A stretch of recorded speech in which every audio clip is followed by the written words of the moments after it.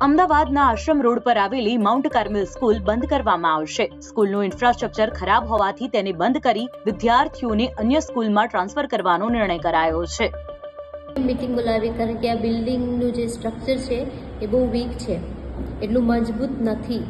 અને બાળકોને અહીંયા જ રાખીએ તો એ અમારે માટે રિસ્ક છે. ધોરણ પાંચથી આઠના વિદ્યાર્થીઓને માઉન્ટ કાર્મેલ ખાનપુર સ્કૂલમાં ખસેડવામાં આવશે.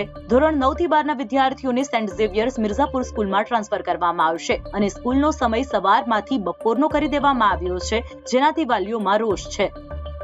એ લોકોને ક્યાંય ટ્યુશન ક્લાસીસ નથી મળી રહ્યા બિકોઝ ઇવનિંગના બધા ટ્યુશન ક્લાસીસ ફૂલ હોય છે.